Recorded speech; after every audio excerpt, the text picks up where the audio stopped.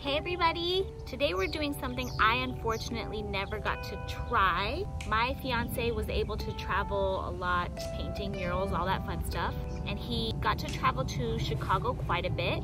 Chi-Town, Go Bow, Windy City, the Bears. And one of the things that he always used to tell me was the Chicago dogs. Chicago dogs. Every time he had one, he would call me, take a photo of it, send me a video, and every time I was so jealous. They looked so, so, so good.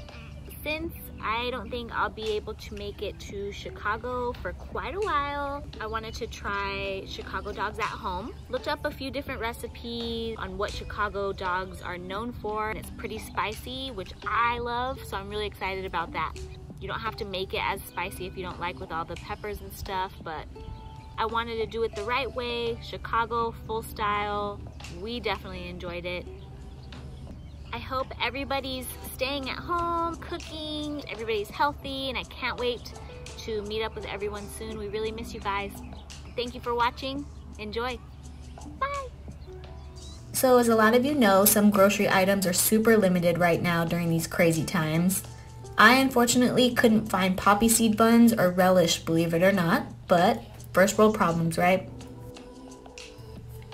First, chop half an onion, then slice half a tomato, then thinly slice pickle spears, hot peppers, and banana peppers.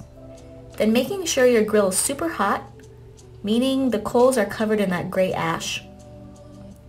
Of course, you can also use a gas grill or even a hot frying pan to cook your hot dogs. Just remember to use all beef hot dogs. After a couple of minutes, turn the dogs over and grill for a few more minutes.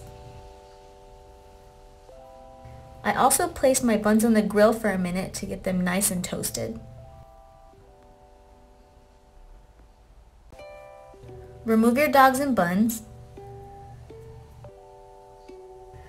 To properly build your Chicago dog, start with the bun and add mustard.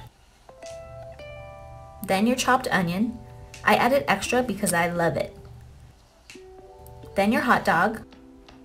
Then two slices of tomato a pickle slice, your banana peppers,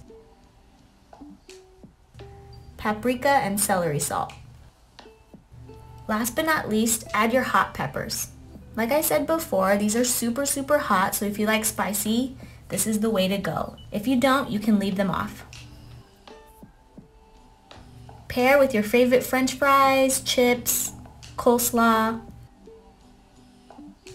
and enjoy. Thank you for watching and don't forget to like and subscribe. Bye!